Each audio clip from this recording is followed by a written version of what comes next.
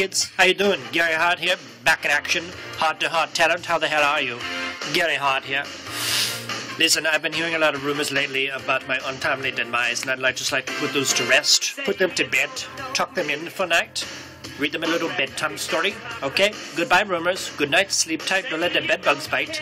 I'm right here, Gary Hart, back in action in the flesh. Listen, I've just been through some ups and downs lately. Uh, I broke up with my long-term, short-term girlfriend, Lisa. Her name is. Uh, she's a big, famous hair model. You don't know her. She's famous being a modeling hair all over the world. Uh, but sorry, kid. Uh, it was you, not me. Nothing's ever Gary. I'd like to announce my new relationship status with Kate Upton in a relationship with.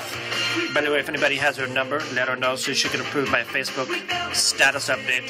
Thanks.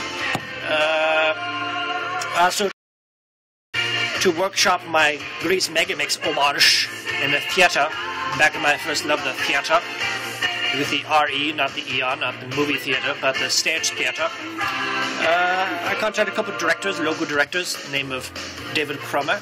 There's a lot of realistic black box acting. We're actors, we're acting. And Julie Taymor, who, who rips off Shakespeare and works with a lot of puppets. There's a big budget in a small theater realistic. Acting with puppets, and John Travolta in a puppet, and he'd be molesting me and stuff.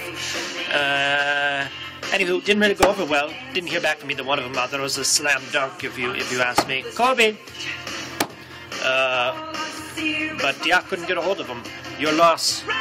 I'll just I'll just bring it to Hollywood. I'm back. I'm back, Hollywood. Who wants to make Grease Megamix the movie homage? Hey.